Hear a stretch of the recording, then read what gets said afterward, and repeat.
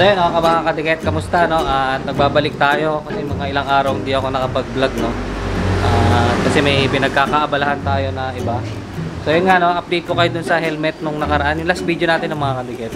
Yung helmet 90% ngayon kasi nandito na yung dati hindi ginagamit eh. Ngayon nagustuhan na ni Cedric ayan no. Tuwan-tuwa oh. Pinaganda yung helmet. Ngayon masabi ko siguro mga 99% okay na yung helmet niya. Pati nga helmet mo. Bibidyo ko nga to. Gusto ko ano eh, paano magtanggal ng decal sa helmet. Ito. Ayan. Nilagay niya na ng ano, mga logo. Oh. Tapos, nilagay niya na rin ng parang visor dito. Kaya mas okay na siya. Tapos yung mga puti na nakaraan dito, yung parang ventilator ata yan. Nilagay niya rin ng sticker. So, mas pinaganda niya na. So, ayun na yung kabuuan. Eh, sabi ko nga, kakalasing ko na. Kung ano, papayag ka ba kung ano? Huwag na daw. Ayaw niya eh. Mas okay na yan, no? Maganda yung design, maganda yung design. So, nakalibre pa nga. Libre na naman. Ano? Libre na naman. So yun ang mga kadikit at medyo okay naman no? siguro kung medyo maarte kayo sa helmet kasi may mga patong eh so yun talaga yung magiging impression natin doon sa helmet may mga patong siya na parang sa decals no may mga overlap yung sticker natin kasi mas madalas nakikita natin sa helmet ano siya no? Smooth pino wala siya yung mga patong. Ngayon kung decals naman ang pag-uusapan meron talaga siya kasi sticker yung gamit na hindi siya yung hydro graphics no? Iba kasi yung process ng hydro kaysa dun sa process ng sticker decals para sa helmet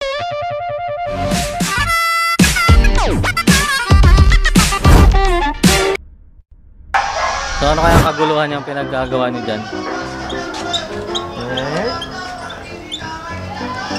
Sinisira ulit.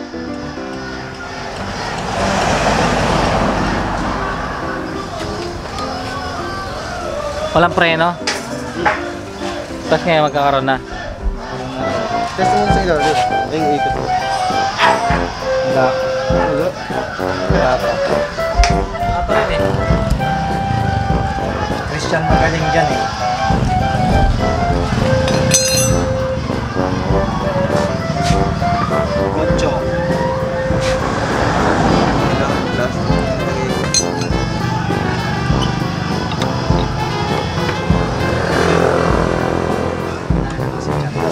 So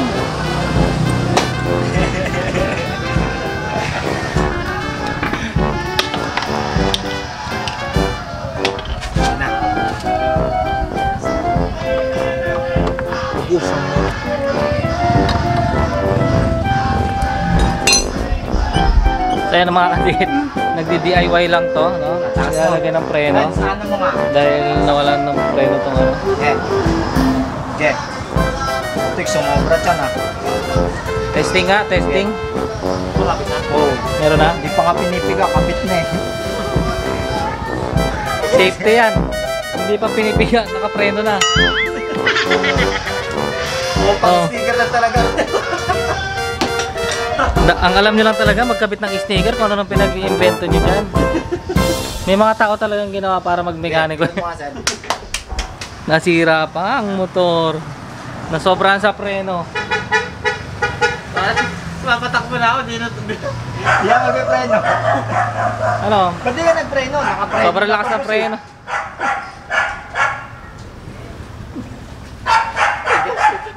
Oh, kakalasin na raw. Kanina lalagyan lang ng preno, nilagyan lang ng brake fluid ngayon, kailangan raw kalasin. So sige, bahala kayo ah, kung ano. Kalasin mo na daw, kakalasin daw ni Pipe. No, kakalasin? Kakalasin eh. Oh, Kasi, aayusin niya yan. Oh, baka matapon. Huwag niya na eh, baka matapon. So takpan na raw yan. Tapos kakalasin ni Pipe yung ano, pinaka-caliper. Ah, sige. Ab- abangan natin kung anong gagawin ni Pipe. No? So wala kami magawa, wala mapagtripan ngayon. Boss? Road trip po. Mekaniko muna to si ano. Si Ranico muna, si Ranico.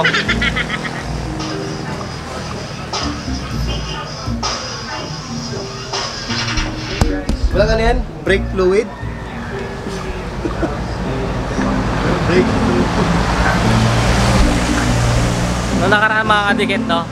Ayan, yung motor ni Cedric yung nakaraan yung ano, walang brief fluid. May video, boss. Ano, ano, ano sabi mo? Brief, brief fluid? Brake fluid. Isa pa. Brake fluid. Kung napanood niyo yung ulit video natin, yung last last video ata natin, nandun yung pinag-usapan namin yung brief fluid na yan. So ngayon, inaayos na. Ano kaya mangyayari ngayon sa preno ng motor na ito ni Cedric? Kaka-brake fluid na po. Brief fluid. So, kakalasin na. Ano tayo nang gagawin nila? Yun oh. Wasak agad ah.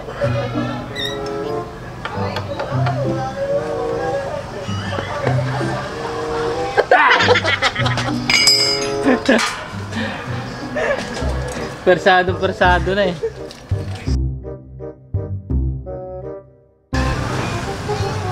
So yun ah, mga katikit, at kinakalas na. Hindi ko alam kung ano mangyari sa pagkakalas na yun. Nakalas na po para sirain. Mukhang malungkot si Cedric. Kala ko ba ayusin, ba't parang sinisira? Ewan ko dito.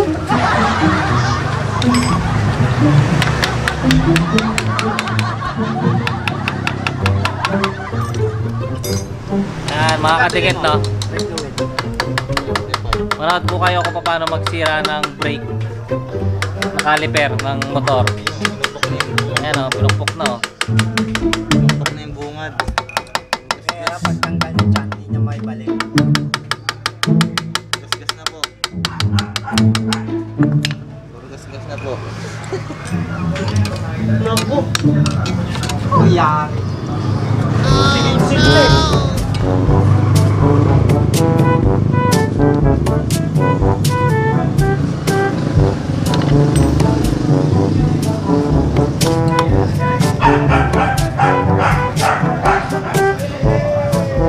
Tinanggal natin itong gulong. Sana kanina pa yan. Nakakapit na ata yan eh.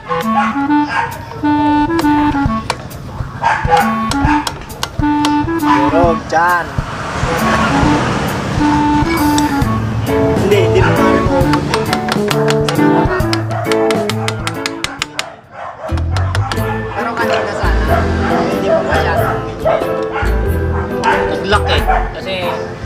Nagpreno na nagpreno. May waka dyan ha.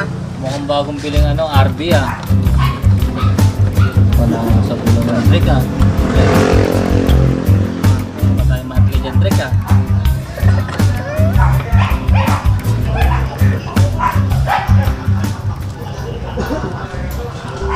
Dahil nakibong. Kala ko ba ayusin? Parang sinisira.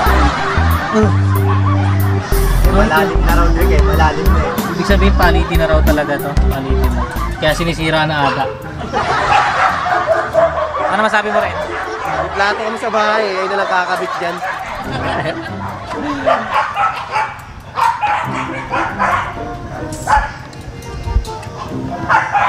Kanina nga ako si kuya. Ayun na lang eh. Wala, nakakalang na yan dyan eh. Wala nakakapit na yan siguro sa ganito. Oh.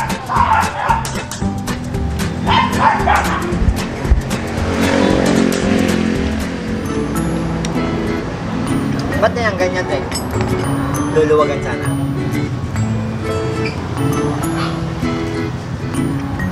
Yun.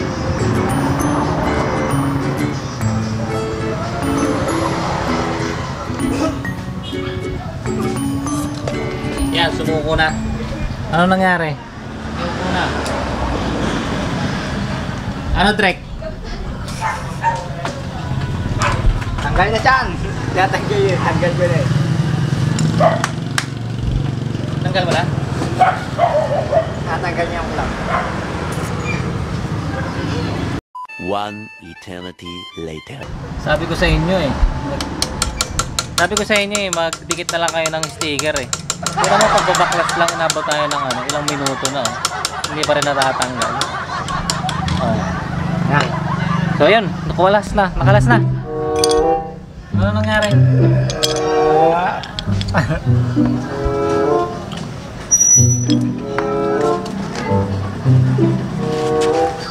Wala naman pala to eh, kaya...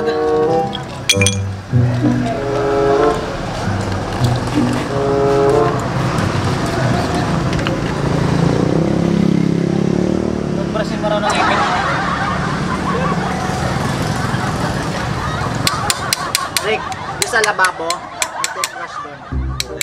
Kahit ano doon, panlinis yung motor. Sa Hindi namin sa kain. Galing talaga ni Dynamos. Sabi nga na eh. Pwede kang pag binaklas ko yan eh, wala ano yan.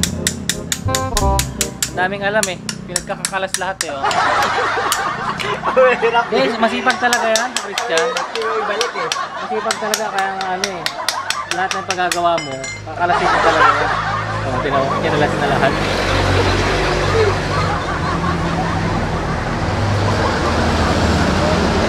Yamon, yamon lang isya dyan ah. Linisin mo na raw to, Drake.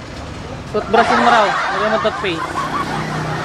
Oh, di na talaga galaw talaga yan eh. Nung pinayos mo ba yan, pinalas din yan ganyan?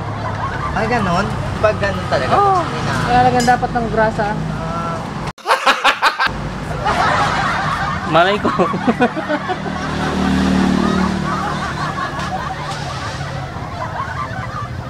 One hour later.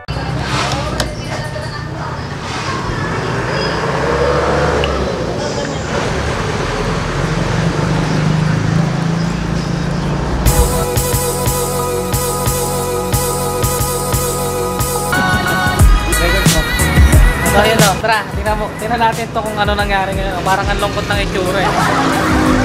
Ano, okay na ba? Okay na ba yan? Ano naman sinikra? Mukhang sinira lang eh. O, testing natin. Testing. baka di na umikot yung gulong. Ano? Hindi na umikot yung gulong. Iikot yan. Kanina nyo pa ginagawa yan eh. Hindi na natapos-tapos ng vlog natin oh. Dapat ikaw ito iba-vlog eh. Kaso maganda yata sisira, sisirain kasi yung motor. Kaya gusto kong ma-video para makita natin kung paano nila sisirain yung motor. Yung itsura na Cedric, tinan mo. Drake, masaya ka ba? Tingnan mo nga. Parang hindi hindi umiikot yung... Anong ginawa nyo? Ay, umiikot?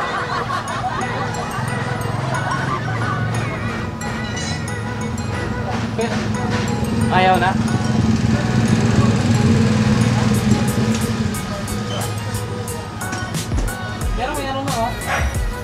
Ikot mo nga. Ayan na eh. Ah, Pero may ikot. Oh, okay na yan. Umiikot na pala eh. So yun, umiikot naman pala. Tapos kanina kasi, ito malambot. Kasi talagang parang walang preno. Ngayon, may kagat na oh. oh. Ikot mo ulit. Oh, yan. Normal lang yan. Normal lang yan. Kasi hindi naman gumugulong eh.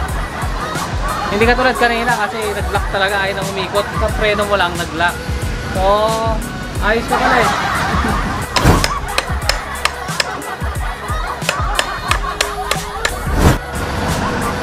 Drake, okay na yan. Good boy, testing na pa. Ikot testing mo ng maandar.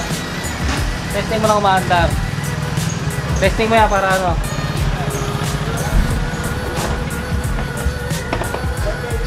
Doon ka dumaan sa baba. May sa baba doon kasi may checkpoint. Para ano, pag testing mo, na checkpoint ka ba, natikitan ka? Mo. Kaya kahit dito lang oh, pagano ka lang oh. Okay yung takbo.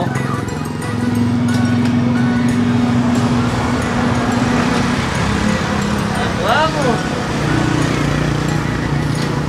Tapos ahong ka, ahong ka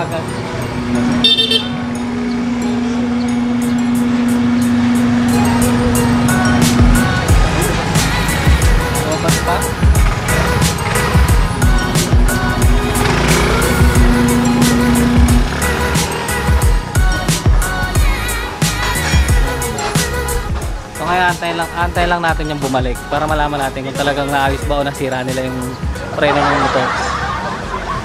Ayan na. Preno, meron? Meron na. Ayos. Meron na pala. So, ano kayo, hindi lang kayo sticker installer, pwede rin pala kayo mag-ayos. Mga ano na rin kayo, sirahan ko. Ayos, mas okay na. Paano yung mukha ng ayos na? Ngeti siya, oh. Ang saya ng mukha, walang bayad. Nakalibre pa nga. Nakalibre, walang bayad, no? Kaya pinagsyagaan kahit mart ano lang pala, martilyo lang pala. Kaya nang talaga nakaayos dyan. Ito, oh. Ito lang, oh. Ito. Pinokpok ng pinokpok yung kaya naging okay yung preno. kaya itabi mo to lagi. Ha? Pag wala ka ng preno, pukpukin mo na yan. Ayun.